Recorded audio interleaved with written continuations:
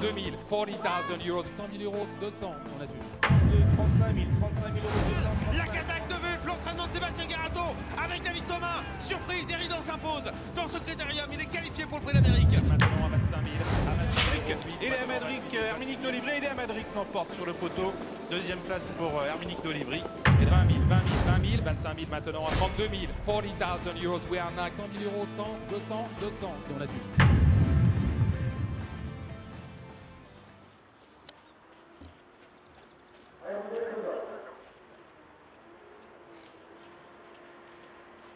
Goodbye.